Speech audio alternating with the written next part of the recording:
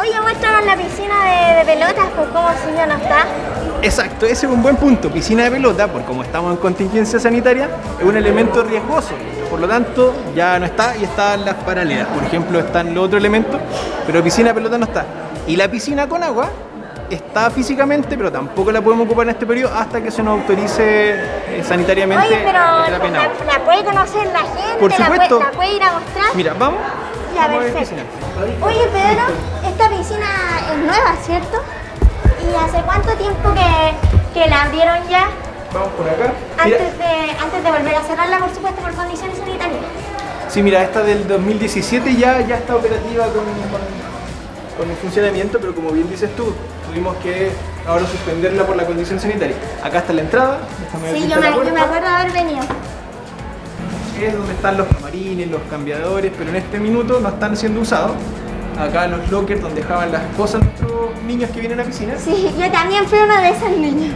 Estoy seguro porque tú has pasado por todas las instancias, Sí. acá, todos los ejercicios, todas Sí. las actividades.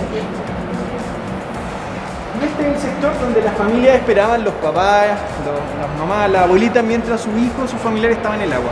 Perfecto. El agua está, está puesta, está temperada, está a la espera de que se nos dé la autorización. para poder Vamos, utilizarla. Oye Pedro, y una pregunta a todo esto, porque uno como paciente ya venía, lo pasaba bien ahí con, con Daniel y, y todas las personas que, que venían de repente voluntarios, pero ¿por qué es importante la rehabilitación en piscina, sobre todo de estas temperaturas? Mira, la, la rehabilitación en piscina tiene varios aspectos que son favorables. Las propiedades del agua y del agua temperada benefician la rehabilitación. ¿Por qué? Porque relajan la musculatura, favorecen la movilidad, es más fácil también el, tema de moverse dentro del agua porque el peso es- se hace más liviano también. Hay, hay muchachos que les cuesta moverse fuera del agua y en el agua lo pueden hacer más fácil. Y el hecho de estar en el agua también es mucho más lúdico, más recreativo y, y es agradable para todos nosotros. Sí, Entonces, pues uno lo pasaba bien ahí. Sí, se en pueden hacer terapias grupales, entonces poder interactuar con otro niño que también está en el agua también da una motivación adicional.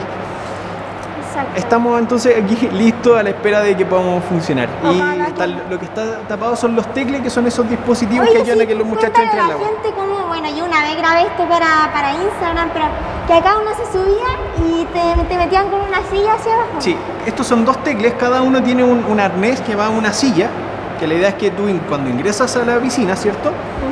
Te sientas en esa silla y ese dispositivo hace que entres al agua. Así evitas tener que, no sé, ir a darte la vuelta para bajar por la escalera o aquellos niños que tienen mayor dificultad por el acceso a la escalera usan esta silla Sí, y que así uno ya está grande igual para que te tomen en brazos y todo. es claramente mejorar la, la autonomía, pues, ¿cierto? Sí, exactamente. Era súper cómodo también cómo, cómo te amarraban al arnés y tú tenías simplemente tenías que apretar el botón para bajar y, y listo, después te tiraba al agua. Sí. Y así también para volver a, a, bueno, a la superficie, por decirlo así. Sí, mucho más fácil. Gracias por, por todo lo que nos has dicho hasta el momento, los datos de rehabilitación y todas estas cosas, porque igual es importante que la gente sepa el propósito de todo esto. porque, porque existe realmente. No, y es necesario. Nosotros tenemos que acompañar a nuestros niños, niñas, jóvenes, sus familias en este proceso de, de rehabilitación, las distintas etapas de la vida en la que se encuentran. Entonces, es necesario contar con todas estas terapias, lo que como vimos en el gimnasio, con loco, con ahora con piscina, el trabajo que se da con las colchonetas, esos camastros. Exactamente, Teletón todos los días. Así es.